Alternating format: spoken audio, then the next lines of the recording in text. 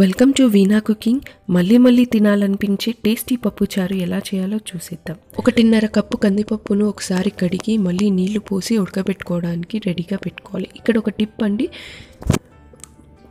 ఒక spoon oil చిటికెడు పసుపు వేస్తే చాలా బాగా ఉడిగిపోతుంది అండ్ కలర్ కూడా చాలా బాగా వస్తుంది. త్రీ విజిల్స్ వచ్చాక స్టవ్ ఆఫ్ చేసుకోవాలి. ఈలోపు చింతపండు ఒక పిడికెడు తీసుకొని వాష్ చేసుకొని ఒక పదిహేను నిమిషాల పాటు సోక్ చేసుకోవాలి. ఇది పక్కన పెట్టుకొని వెజిటేబుల్స్ అన్నీ కట్ చేసుకోవాలి.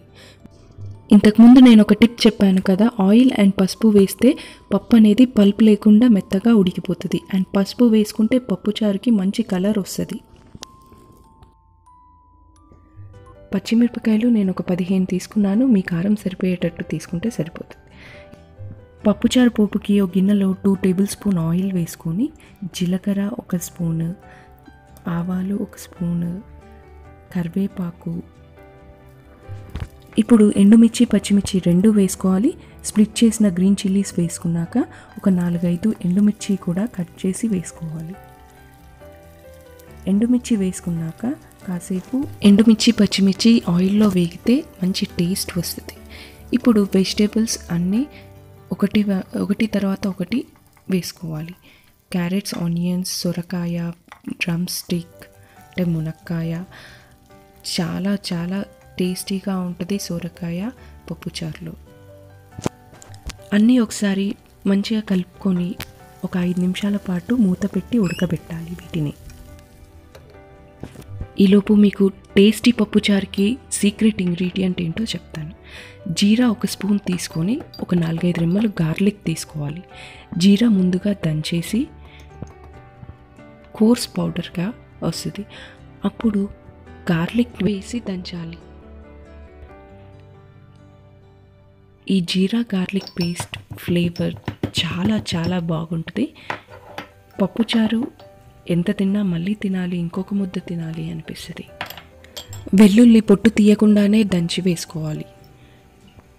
ఇది మొత్తంగా వేసుకోము.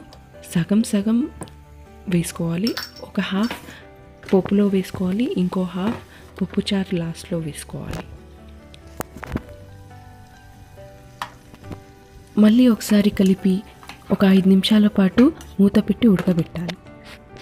ఇప్పుడు ఒక మీడియం సైజ్ టమాటో ముక్కలుగా కట్ చేసుకొని హాఫ్ టమాటో స్లైసెస్ని ఇప్పుడు వేసుకోవాలి. తర్వాత హాఫ్ టమాటో వేసుకోవాలి. ఈ పోపుకి ఒక స్పూన్ పసుపు వేసి కలిపి ఒక ఐదు నిమిషాల పాటు మూత పెట్టి మళ్ళీ ఉడకబెట్టాలి. ఈలోపు నానబెట్టిన చింతపండు నుంచి చింతపండు పులుసును వేరు చేసి రెడీగా పెట్టుకోవాలి. వెజిటబుల్స్ అన్నీ ఉడికిపోయాక చింతపండు పులుసుని ఇందులో పోసుకోవాలి. ఒక కప్పు చింతపండు పులుసుకి రెండు కప్పుల నీళ్ళు పోసుకోవాలి. ముందుగా ఉడకబెట్టిన కందిపప్పుని పేస్ట్ లాగా చేసి వేయాలి దీంట్లో. ఆ తర్వాత మిగిలిపోయిన జీరా గార్లిక్ పేస్ట్ని మొత్తం వేసేయాలి. తర్వాత టమాటో ముక్కల్ని కూడా వేసుకోవాలి. ఆ తర్వాత ఒక స్పూన్ జీరా పౌడర్ ఒక స్పూన్ ధనియాల పొడి వేసుకొని మీ టేస్ట్కి తగ్గ సాల్ట్ వేసుకొని ఒక పదిహేను నుంచి ఇరవై నిమిషాల పాటు మీడియం ఫ్లేమ్లో మసల పెట్టాలి. వన్స్ కూరగాయలన్నీ ఉడికిపోయాక కొత్తిమీర వేసుకొని గార్నిష్ చేసుకోవాలి. అంతే. టేస్టీ టేస్టీ పప్పుచారు రెడీ. మీరు ట్రై చేయండి. నచ్చితే లైక్ చేయండి షేర్ చేయండి సబ్స్క్రైబ్ చేయండి. Thank you for watching.